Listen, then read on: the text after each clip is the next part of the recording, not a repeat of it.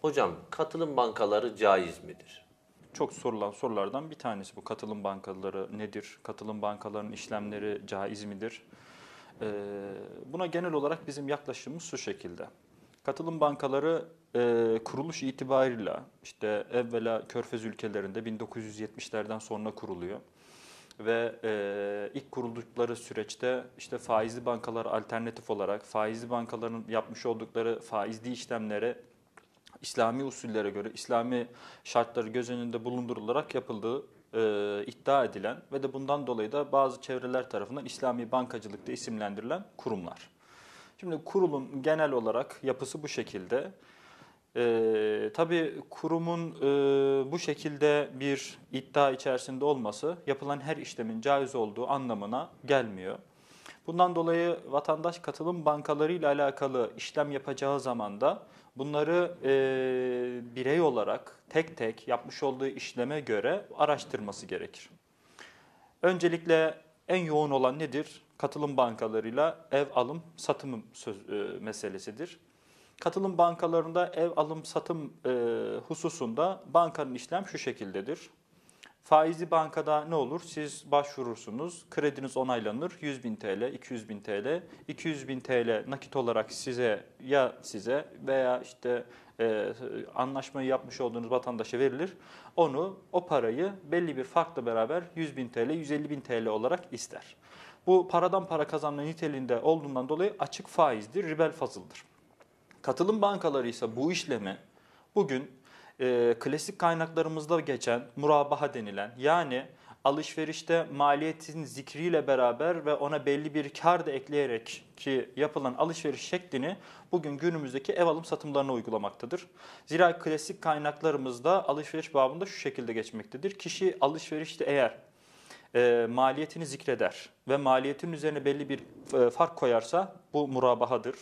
Maliyetine satarsa tevliye, e, maliyetini zikredip zarara satarsa da vaziyedir. Dördüncü bir seçenek olarak da maliyeti hiç zikretmeden de satabilir. Bu bireyin ihtiyarına kalmıştır. Şimdi klasik kaynaklarımızdaki bu olan murabaha işlemini günümüzde katılım bankaları birebir ev alım satımında şöyle uyguluyordur.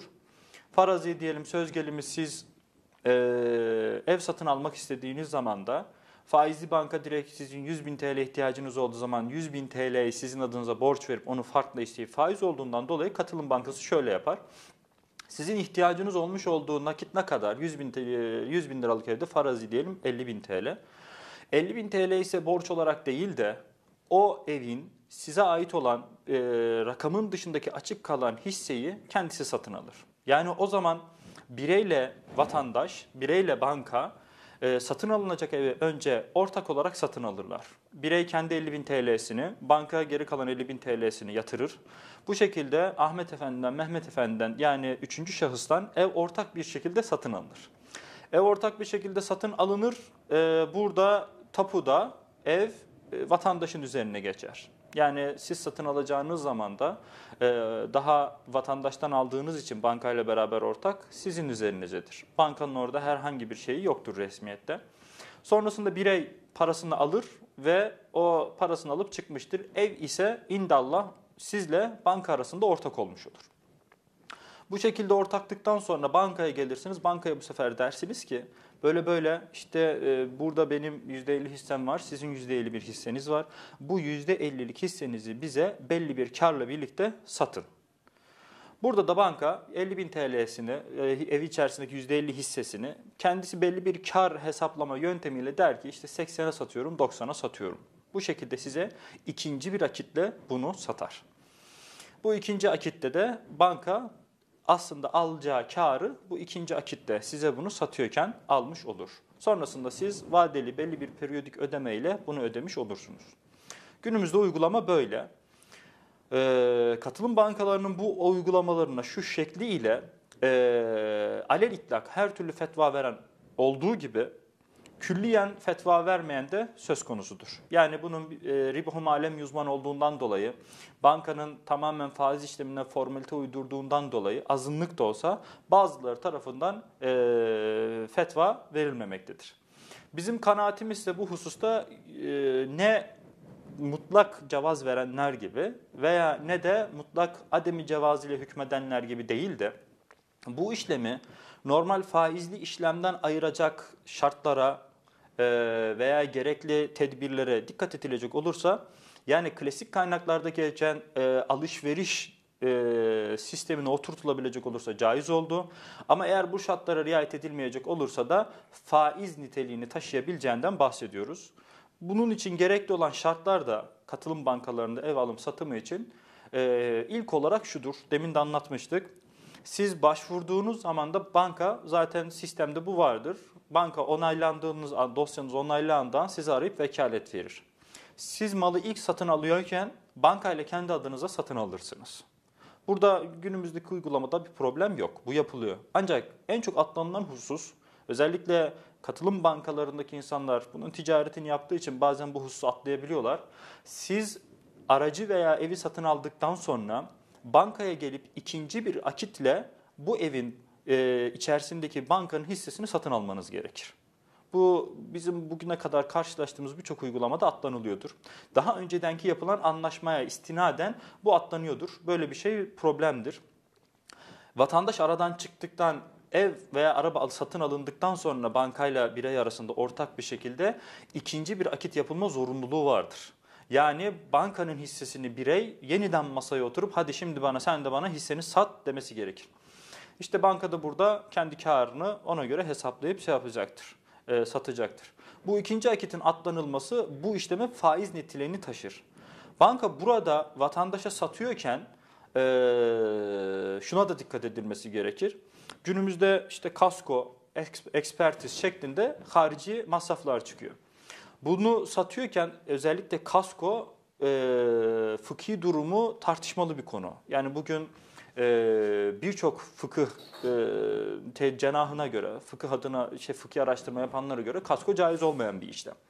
Gerek işte katılım bankalarının yaptığı olsun, gerek normal e, şeyler, e, kasko şirketlerininki olsun. Kasko fıkhen problemli bir uygulama. Şimdi kaskonun böyle problemli olduğundan dolayı e, kaskoya verilecek bedeli eğer e, ipotekletilecek bir şey var ise kaskoyu bu işlerin içerisine hiç girmeden kaskoyu atlatılmalı, atlatmalarını e, tavsiye ediyoruz. Nasıl? Siz evi satın alacağınız zaman, arabayı satın alacağınız zaman eğer ipotekletecek başka bir malınız var ise o zaman sizden kasko talep etmiyorlar. O zaman e, böyle bir imkan varsa başka bir malınız ipotekletilsin. Bu kasko sıkıntısıyla hiç muhatap olmayın diyoruz. Başka malı yoksa yani aracı var aracından başka hiçbir şey yok. Ev aldı o evden başka bir şey yok. Evde zaten kasko olmuyor da araçtan başka bir şey yoksa o zaman bu kasko bedelini bankanın alacağı karın içerisine eklenilsin. Yani diyelim banka 50 bin TL verdi, hisseyi işte 36 ay, 100 ay vade 80'e satıyor. 3-5 lirada kasko ekspertiz gibi harici masraflar kasko ayrı bir işlem değil, Değil. masrafa dahil edilen Aynen ekstra öyle. bir taksit Tabii. tutarı gibi. Ee, çünkü İslam hukukunda e, ibret her zaman sözedir. Sizin akiti yapmış olduğunuz şekliyledir. E, zira bu hususta Allah Resulü'nden Hayber'in e, hurmaların alım satımı ile alakalı rivayetler gelmekte. E, yani akit belki uygulama olarak aynı olabilir ama akitin uygulanış şekli, tarzı veya oradaki o, o aktaki yüklenilen mana farklı olduğu zaman hükmün farklı olduğunu Allah Resulü'nden gelen şu hadis-i şeriften anlıyoruz. Efendimiz Hayber'e gidiyor. Hayber, Hayber'de hurma ikram edilince Hayber'in bütün hurmaları bu şekilde güzel mi deyince sahabe-i kiram da diyor ya Allah Resulü Hayber'in hurmaları e, biraz iyi değil kuru. Biz karşı kariyeye gidiyoruz. İşte 2 kilo hurma satıyoruz. Onlar bize 1 kilo hurma veriyor aynı cins ve keyli mal olduğundan dolayı bu faiz niteliğini taşıyor. Allah Resulü de buyuruyor ki bunu böyle yapmayın. Ne yapın? Siz 2 kiloyu satın, paranızı alın. Sonrasında e, o parayla gidin kendi hurmanızı satın alın buyuruyor. Yani aynı işlem olabilir. Aslında yine 2 kiloya 1 kilo hurma alındı satın aldı. Ama araya böyle bir itibar farklılığı, para gibi bir itibar farklılığı uygulamanın hükmünü değiştirebiliyor. Onun için burada kaskoyu e, ayrı değil de dediğiniz gibi e, evin hissesinin satın alımında sanki evi 80'e değil de 85'e satıyormuş gibi, arabayı 85'e satıyormuş gibi bir anlaşma yapılması gerekir. Son olarak da e, bankalardan satın alındığı zaman vadeli bir e, ödeme olduğundan dolayı bu vadeli ödemede gecikilmemesi gerekir. Zira katılım bankaları da olsa bu vade geciktiği zaman belli bir fark yansıtıyorlardır. Bu fark dört mezhebe göre caiz olmayan bir işlemdir. Evet kurum faizde onu e, kendisi almadığını, hayır hasanat yaptığını söylese de böyle bir parayı onun talep etmesi, vatandaşın da vermesi bunu caiz değildir. Ya da vadeli işlemde vadenin erken kapatılması durumunda e, belli bir kırpmaya gidiyorlardır. Böyle bir kırpmada caiz değildir. E, bundan dolayı vadesi ne ise vadesinde ödemesi gerekir. Veya farklı tahliller vardır. Onun için e, vatandaş hususi meselesi için bunu araştırması gerekir bu vadiyi kapattığı zamanda. E, zira ona da e, bir takım şeylerle beraber fetva veriliyordur. Yani toparlayacak olursak katılım bankalarında genel olarak kanaat İslam aleminde bugün günümüzde ev alım satımı ile alakalı caizdir diye caizdir ve her türlü işlem yapılabilir diyen olduğu gibi bu işlem tamamen faizdir, faize kılıf uydurulmuştur diyenler de vardır. Bizim kanaatimiz ise alel itlak iddia edildiği gibi caiz olmayıp belli bir takım şartlara, belli bir takım hassasiyetlere riayet edilecek olursa caiz olduğudur. Bu şartlarda nedir? İlk olarak katılım bankası ile ortak alınacak. Sonra katılım bankasından katılım bankasının hissesi satın alınacak. Bu satın alınıyorken kasko, ekspertiz gibi harici masraflar ana paraya eklenilecek veya kasko işlemi ipotek gibi bir şeyle hiç girilmeyecek. Son olarak da vade geciktirilmeyip vaktinde ödenecek. Bu şartlara riayet edilecek olursa bizim tavsiyemiz e, eğer imkan var ise yine alınmaması. Ancak e, imkan yoksa, vatandaş mecbur kalmışsa o zaman bu şartlara riayet edilerek alınmasıdır. İşlemde katılım bankasının kendi alsat yapması gerekir mi? Şimdi e, katılım bankasında evet bugün vatandaşın e, çokça problem olarak görmüş olduğu hususlardan bir tanesi o. Ee, ilk dönemlerde bu uygulama dediğiniz gibi uygulanılıyordu. Yani Katılım Bankası'nın kendi e, müşteri temsilcisi veya çalışanı e, bu işi takip ediyordu. Veya satın alınacak e, işte araba veya ev neyse e, satıcıyla muhatap bunlar oluyordu. Ancak İslam hukukunda böyle bir zorunluluk yoktur. Çünkü hukuk olarak yani fıkıh olarak Katılım bankası da ortak. Siz de ev alacaksınız, araba alacaksınız. Siz de ortaksınız. İki ortaktan biri de vekalet verilince ikisi adına tasarrufta bulunabilir. Burada uygulamayı da zaten Katılım Bankası şöyle yapıyordur. Dosyanız onaylandığı an, yani sizin ihtiyacınız olan rakam onaylandığı an genel merkezden size arayıp vekalet veriliyordur. Böyle böyle işte Mustafa Hocam e, şeyiniz onaylandı. Siz bizim adımıza şu kadar parada tasarrufta bulunabilirsiniz, alacağınızı alabilirsiniz diye. Artık yetki sizdedir. İlla katılım bankasının o aşamalarda e, orada olması, akit yapılırken, alışveriş yapılırken veya işte tapuda, şeyde orada illa olması zorunlu değildir hukuken. Hocam bankanın kredi kuruluşları ile aynı rakamı istemesi caiz olur mu? Şimdi e, geride bahsetmiş olduğumuz şekilde e, yani riayet edilmesi gereken şartlara riayet edilecek olursa dediğimiz gibi bu katılım bankalarıyla ev araba alım satımına ihtiyaca binaen fetva veriliyordur. Şimdi bu fetva verilmesinin anlamı şu demek değildir. Yani vatandaş gitsin oradan bunu satın alsın. İnsanlar biraz bunu böyle anlıyorlar. Özellikle fetva olarak bu söylenildiği zaman da bu gidilirse alınması şeklinde biz bu kurumlara işte alışveriş yapılmasını asla e, bir yönlendirme içerisinde, bir teşvik mahiyetinde konuşmamaktayız. Sadece yani burada insanların yapacağı işlem eğer bunun fıkhi durumu tartışılmayacak, konuşulmayacak olursa insanlar bunu bilmeyip faiz işleme düşme ihtimalleri var. E, bu da alternatif olarak bugün günümüzde sunuluyor. Bunun durumu tahlil ediliyordur fıkhi olarak. Bunun durumunun tahlil edilmesi bu işin Müslüman olarak yapılmasının üzerinde bir gereklilik anlamında telakki edilmemesi lazım. Çünkü bazı vatandaş bunu bu şekilde algılıyordur. Yani evet bu şartların riayet edilmesi durumunda fetva verilen bir işlemdir. Ancak bunun fetva verilmesi yapılması anlamında veya girilmesinin gerekli anlamda anlaşılmamalıdır. Bundan dolayı birey mutlaka mali olarak kendi karına zararına olan şeyi düşünmesi gerekir. O artık onun ticari boyutu olduğundan dolayı ticari boyutunu kendisi şey yapacaktır. Yalnız burada şuna da parantez içine e, almak gerekir. E, faizli işlemin yapmış olduğu, faizli kurumun yapmış olduğu faiz işleminin rakamının aynı olmasıyla bu kurumun talep etmiş olduğu kar rakamının aynı olması bu işlemin faiz olduğu anlamına gelmez. Çünkü e, Türkiye'de sonuçta finans alanında hizmet veren bankalar olsun, katılım bankaları olsun. Örneğin hepsinde e, sabit olan bir işte devletin merkez bankasından tespit edilen bir faiz şeyi olduğundan dolayı e, standart olmak zorunda olan, eşit olmak zorunda olan rekabet açısından bir kar diyelim katılım bankasında kar payı oranı, onlarda da faiz oranı olmak zorundadır.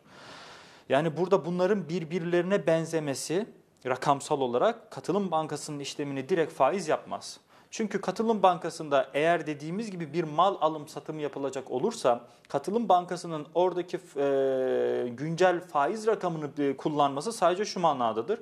Ben bu arabayı satacağım, evi satacağım. Ben burada ne kadar bir kar payı alayım? Piyasada bu bugün ne kadar bir kar payı alınıyordur? İşte şu kadar alınıyordur. İyi o zaman ben bu 50 bin TL'lik e, arabamın üzerine şu kadar bir aylık kar koyayım mantığıyladır. Bunu insan kendi kafasından da yapabilir. Bugün tanıdığınız mahalle esnafına vadeli bir beyaz eşya almaya gittiniz. 1000 TL'lik bir beyaz eşya kaç diyeyim 6 ay vade 1500 diyebilir adam. Onun karını niye 1300 dedin değil de 1500 niye 1600 dedin diyemeyiz. Ortada mal olduğu sürece Satıcı kendisi belirler. kendi belirleyecektir. Ha, katılım bankalarında dediğimiz gibi piyasada finans sektöründe böyle bir şey olduğundan dolayı o karı o faiz oranını kullanarak belirliyordur evet. Ama onu kullanması aldığı karın faiz olduğu anlamına gelmez. Sadece alacağı karı belirlerken o rakamları O kullanıyor. sadece oranı belirlemede bir Aynen öyle. Limittir. O faiz kelimesinden dolayı işlemi işlemi faiz işleminin faiz olmasını gerektirmez. Ee, yani burada e, şöyle bir telakki yanlıştır. Yani bu e, İslami bankacılıksa illa bir fark olmak zorunda.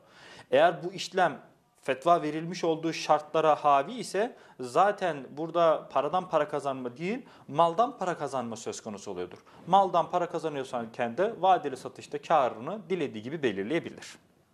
Hocam tapu ya da araç önce resmiyette kişinin kendi üzerine sonra bankanın üzerine geçmek zorunlu mudur? Geçmesi gerekli midir?